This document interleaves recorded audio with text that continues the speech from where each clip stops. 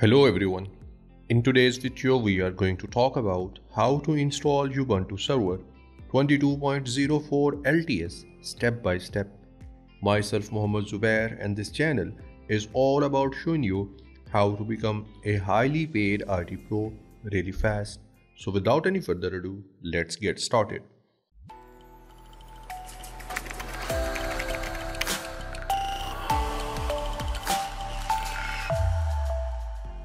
Well, to install Ubuntu 22.04 server, I'm going to use VMware.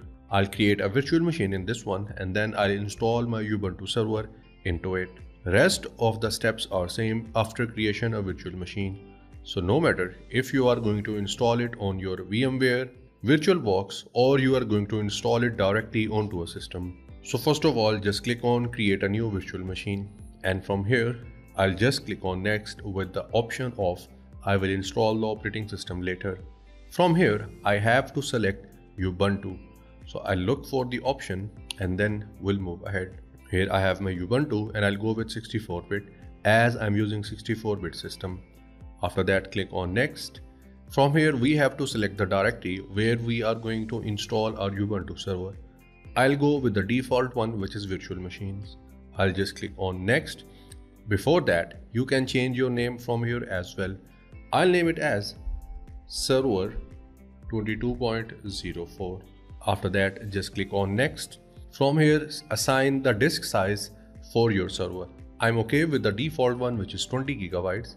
I'll just click on next. From here, I'll go with customize hardware. Here we have the RAM. I'll just increase it around 5 gigabytes. Then in terms of processors, I'll go with three of them. And in here, I have to select ISO image file. I'll just browse for it. Here I have my Ubuntu 22.04 server ISO file. I'll just click on it. After that, I'll just click on close. We are done with everything and now I just need to click on this finish button. From here, we need to start this virtual machine that we have just created. So I'll just click on this power on button or you can also go with this option that says play virtual machine.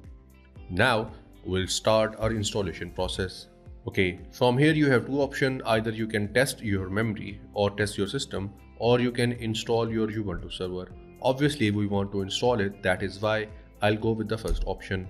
Process has started as you can see. In a bit of time, we'll start with the configuring of our Ubuntu server. So let's wait for it to boot up and then we'll move ahead. And now as you can see, the boot process has started and it is checking everything that is to be checked at the boot time. It is checking if there are any problem with the hardware, network, hardware devices, peripheral devices, and if there is any problem with the operating system itself. As you can see, we are getting the OK status. It means there is no problem. So let's wait for it to get the, all the checks and then it will start the configuration process. Okay, from here we have to select the language. You can use your keyboard and you can go with any option. I'll go with the default one which is English and this English is of US. Down here we have the one from UK. I'll go with the US one. I'll hit enter. Okay, here it is asking about the installer update because there is an update available in terms of the installer of Ubuntu server. Well, I'll go without the updated installer. I'll go with the default one. So I'll select continue without updating and I'll hit enter. From here, we have to go for the keyboard configuration. I'll go with the options that are there by default and these are English. I'll go with done and from here it says choose type of install. Well obviously we are going with the default value in case if you want to go with minimal installation you can go from here as well. But I want to go with the default install that will contain set of packages that will provide me comfortable experience of using my Ubuntu server. So I'll go with this option. After that, I'll just go with the done option in here. And from here, it is asking me about the network connection. Do not worry, just leave it as it is and press your enter key on your done. From here, it is asking about the proxy address. If you have your proxy address, it is good. If you do not, do not worry, just hit enter. Here it is asking about the archive mirror. Do not worry, just hit enter once again. Now, it is asking if we want to use the entire disk or we want to go for a particular partition or a particular section of the disk where we want to install our Ubuntu server. I'll go with an entire disk option. After that, I just go to done and I'll hit enter. Okay, in terms of moving between different options, either you can use your arrow keys or you can use your tab key. From here, it is asking about the storage configuration. I'll leave everything as default and I'll just hit enter. Now, it is asking for the confirmation. So I'll just go with the continue option and from here we have to name our machine or name our server. I'll name it as Zubair. Okay, down here it is asking about the server name. I'll name it as Ubuntu. You can name your server anything. After that here it is asking about the username. I'll go again with Zubair. Down here it is asking about the password. I'll confirm it and then I'll just go with the done option. Now it is asking if you want to install OpenSSH server. Well, obviously, as I'm going to use my Ubuntu server, it is always good to have OpenSSH server installed by default. So I'll press space key, then I'll use my tab key and I'll go with the done option. Now from here it is asking about the featured server snaps. You can select any one of these because these are different popular server snaps available in your environment. You can select any one of these or you can just go with your done option. I'll just go with the done option and I'll move ahead. And here it says installing system. So it means it has finally started to install my Ubuntu server into my system. It will take little bit of time, so wait for it and then we'll move ahead. And at the end, I'll also show you that how you can install a GUI for your Ubuntu server. Because for many of us, it is not as easy task to use Ubuntu server directly from the terminal. We want or we need to have a GUI because it makes things easier for us. So let's wait for it and then we'll see how we can install a GUI into our Ubuntu server 22.04. We are done here with the installation of our Ubuntu server and now we need to reboot our system and then we'll come back. So I'll just go with the reboot option now and I'll hit enter. We are back with the reboot of our system and now we just need to log in. So I'll have my username and then I'll have my password and we are into our Ubuntu server and we are ready to use it. And here we need to update our system. So I'll write here sudo apt update and I'll just hit enter. After we are done with the update, I'll upgrade it as well. And then we'll be able to have our desktop environment or GUI for our Ubuntu server.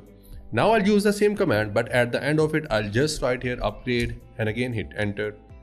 It will take a little bit of time. Press Y, hit enter and let the process get complete. We are done with the upgrade as well.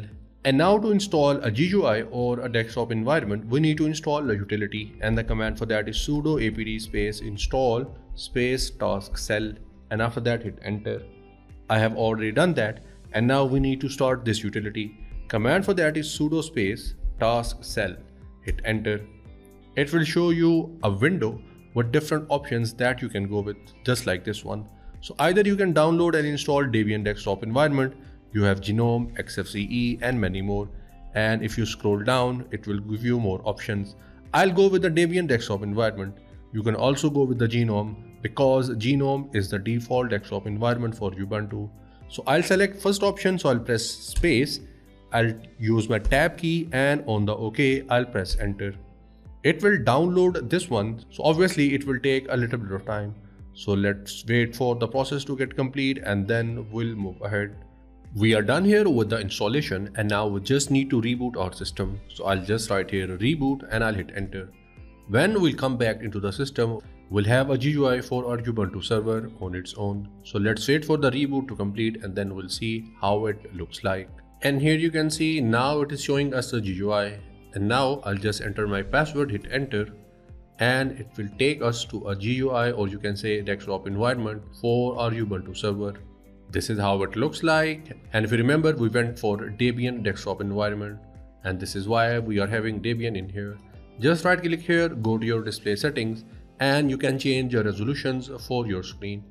I'll go with 1920 by 1080, I'll click on apply and now we have a display onto our whole screen.